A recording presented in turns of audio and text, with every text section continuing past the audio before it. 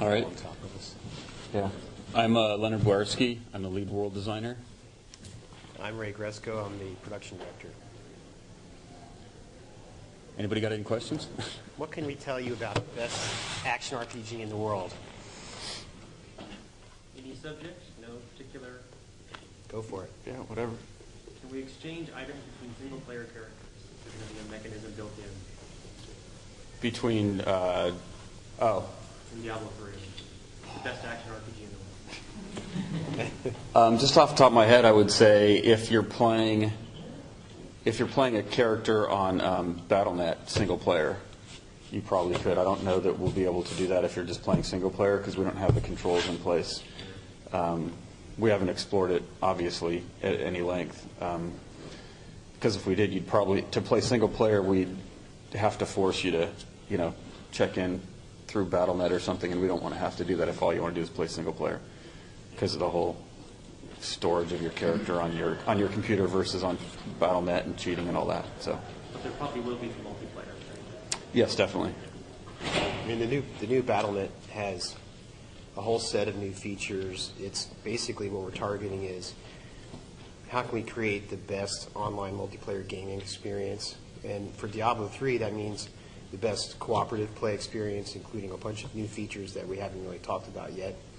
And um, also just all the same stuff that people expect from Diablo, you know, really great matchmaking, um, the communication and security. Uh, we're also going to focus on uh, reducing griefing and uh, in the and in the competitive play, um, just to have that be a better experience than it was in the past.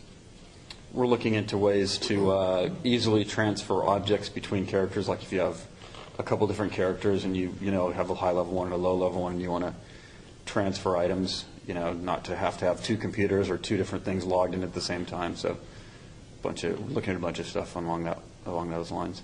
Will that be only in VNet, or do you think that'll be browser, like an Armory kind of thing, like World of Warcraft? Or, Um, I'm not sure because we, you know, we're still working on, on the next iteration of BattleNet, well, in your dream version, it would be allowed by email transfers and. um, I don't know. I think I think we need to.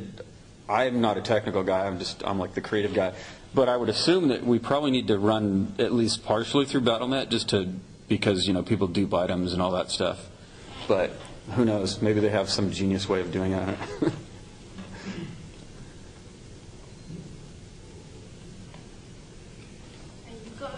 returning gamers that are knowing about the series.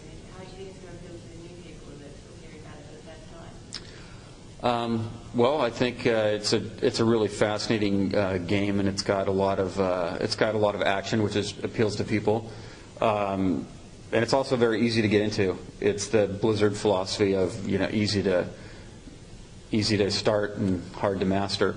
Um, I think that uh, you know anyone who's looking for a good action RPG is gonna is gonna be able to jump right into it.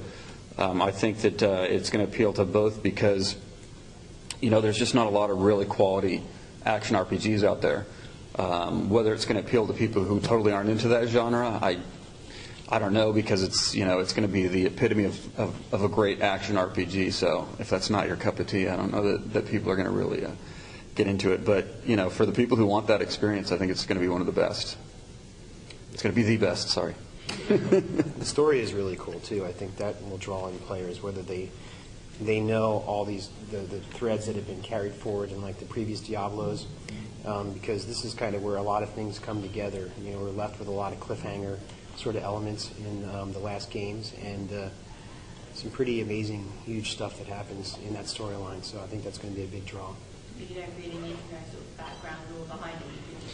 No, we're going to we're giving you a lot of that in in a lot more in depth ways than uh, than you might have gotten in the previous games. Um, in the previous games, uh, some of it was you know you had to kind of read the manuals, you had to kind of read between the lines. We're we're trying to fill in a lot of the blanks too. So we're we're definitely trying to. Um, even for the people who know the story, we're filling in some, some blanks that maybe weren't filled in before. Um, and, you know, there's the whole nostalgia factor of like, you know, showing what you saw before maybe in a different way. Um, so we are returning to those to kind of catch everybody up. You know, it's, it has been 10 years since, since the last one, so. I mean, seeing Tristram again is really cool uh, for the returning players, and then like delivering the story elements, we've got these journal pieces that you find in the demo, and uh, that shows kind of one way we're going to be delivering the story um, for Diablo 3. Yeah. Um, Has been a challenge to kind of add more depth to it whilst keeping the simple kind of controls? Um, no, I think um, what we're finding right now is that a lot of people run through it the first time. Um, we even had this when we were testing back in the office. You know, people get in there and they just go, "Oh, I want to just start killing stuff." Um, but you know, with the replayability of, of the series, and um, that's more multiplayer. I think when player plays, people play single player, they're a little bit more slow going through it, a little bit more meticulous, trying to search out every piece of information, every nook and cranny. Um, but you know, we're we're um, we're integrating quests in a way that isn't really overbearing. Um, you know, they did it. They did it. They kind of like um, had all their quests in one spot, in, uh, or we kind of had all of our quests in one spot in the previous games. And um, what we're doing is we're spreading those out throughout the world. So it's not so much of a factor of like, okay, I'm here, I'm doing my quest stuff, then I'm going to go out, run out and kill stuff. Uh, we have in the outdoors, we have random um, adventures, we're calling them, where they can be swapped out with a bunch of different things. They could be quests, they could be little adventures. You come upon like a, a caravan under attack. You come upon you know guys doing a summoning ritual. Um, just like really bite-sized pieces of story, but a lot of different ones, as opposed to just trying to give you a big download all at once. So I think you know we really um, one of the things we did recently, if you guys saw our presentation from WWI is we had when you went into a dialogue we had this big nice little nice window come up with really high res characters.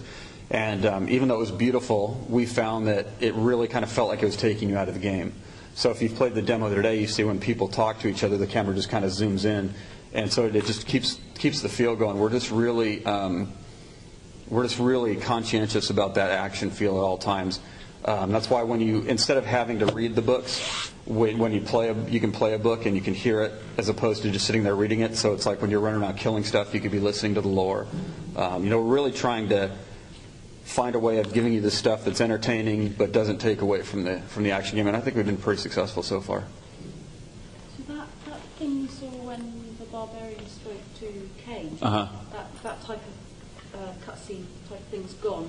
Yeah, we're not, we felt it was it was just kind of really took you out of the game. I mean, it looked really nice, it showed really well for a demo, but when you got in there and started playing it, it would just it felt like you hit a brick wall almost. You know, I'm talking to somebody. Oh, I'm in a different uh, I'm in a different mode. I'm in a different. It just it just really kind of felt like it was an interruption to the game almost. Um, which is too bad because I mean they were really beautiful and it was really kind of cool to see the characters up close like that.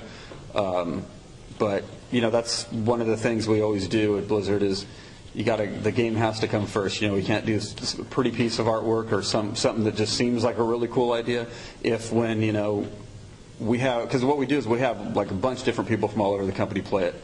And uh, you know we get all their feedback. And when we start hearing stuff like you know well this just really kind of stops the flow of the game you know no matter how much we personally might think it's a great thing and want to put it in there you got to you got to respond to how people are experiencing it when they play You get to opt into the story too, so you can decide.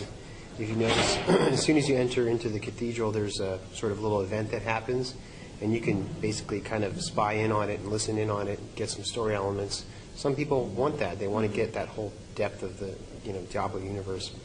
Other people just want to blow through. And maybe they've seen it before, you know, because it's being replayed, and they can just move through and just start cracking skulls.